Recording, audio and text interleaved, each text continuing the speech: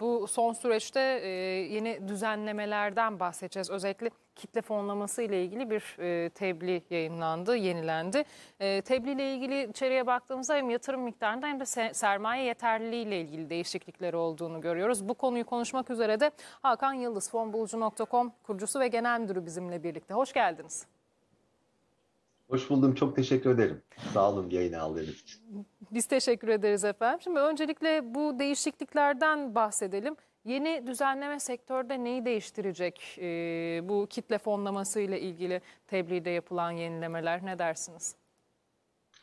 Ee, çok şey değiştirecek aslında. Zira e, daha önce 2019 yılında yayınlanan ilk tebliğ paya dayalı kitle fonlamasıydı aslında. Yani girişim şirketlerinin, girişimcilerin paylarını yatırımcılara arz ediyorduk. Zaten 11 Mayıs'ta da başlamıştık buna. Şu ana kadar da aslında kısa bir süre içerisinde 8 milyona yakında fon toplayıp girişimleri finanse etmeye başlamıştık. Ee, tabii bunun yanına borçlanmaya dayalı kitle fonlamasının eklenmesi, bunun da e, farklı modellerle, hibrit modellerle uygulanabilecek olması girişimcilik ekosisteminin aslında ciddi şekilde ihtiyaç duyduğu finansmanın temin noktasında da çok ciddi bir katkı sağlayacağını düşünüyoruz açıkçası. Söylediğiniz gibi bazı değişiklikler de oldu. Ee, daha önce e, girişim şirketlerinin e, eğer bir şirket olarak başvurulması gerekiyorsa anonim şirketi olması gerekiyordu. Şimdi şirketi olmasına da gerek yok. Aynı şekilde limited şirketi de olabilir. Anonim şirketi de kurmuş olabilir. Dolayısıyla aslında iyileştirmeye dönük e, çok büyük bir katkı sağladı sermaye piyasası kurulu e, girişimcilik ekosistemine. Evet.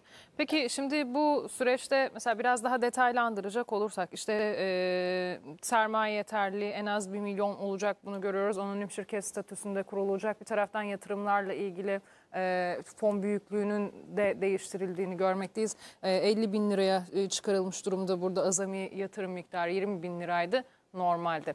Ee, şimdi Evet. bu biraz daha bir işte hacim genişlemesi görüleceğini görüyoruz. Sektörün şu andaki durumu bu düzenlemelerle beraber e, sonraki süreçte e, nasıl ilerleme kaydedeceği ile ilgili öngörüleriniz var mı?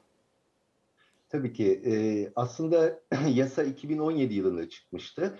Daha sonra da tebliğ 2019 Ekim ayında yayınlanmıştı. O dönemde e, yatırımcıların nitelikli olmayan yatırımcılar için 20 bin liralık bir üst limit tanımlanmıştı. Bir yıl içerisinde yatırabilecekleri tutar açısından. Tabii günümüz şartlarında bunun yenilenmesi, güncellenmesi gerekiyordu. Sermaye Piyasası Kurulu bu tutarı e, nitelikli olmayan yatırımcılar için 50 bin liraya kadar artırdı. Bu son derece memnuniyet verici çünkü ciddi şekilde sorun yaşıyorduk. Aslında önemli olan ikinci bir değişiklik de e, beyan usulüyle 100 bin liraya kadar artırabiliyordu nitelikli olmayan yatırımcılar yatırım tutarlarını. Onu da 200 bine çıkardı. Dolayısıyla e, bundan sonra en azından yatırımcılar e, çok daha rahat yatırım yapabilecekler.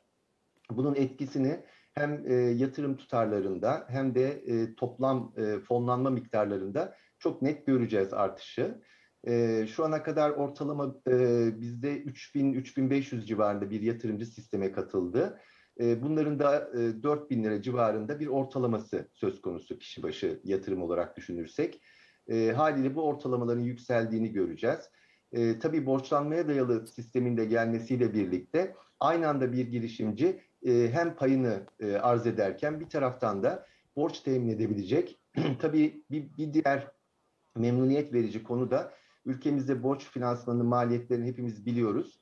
E, burada e, paya çevrilebilir e, borç tahvillerinin de yolunun açıl, açılması e, girişimcilik için aslında e, bugün çok önemli bir gün. Bir devrim olarak da nite, nitelendirebiliriz bunu. Peki. Çok teşekkür ediyoruz katkılarınız, değerlendirmeleriniz için. Ben teşekkür ederim. Sağ olun. Hoşçakalın. Fonbulucu.com kurucusu ve genel müdürü Hakan Yıldız bizimle birlikteydi.